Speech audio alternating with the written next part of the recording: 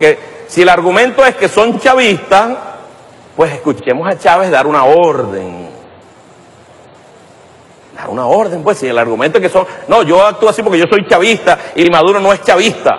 Porque eso es uno de los argumentos que dicen, ¿no? Maduro es Maduro y Chávez es Chávez. Bueno, aquí va Chávez, pues lo tenemos. Nuestra constitución, una de las mejores del mundo, está blindada de cualquier capricho personal de cualquier capricho de un grupo, de una secta o de un grupo político.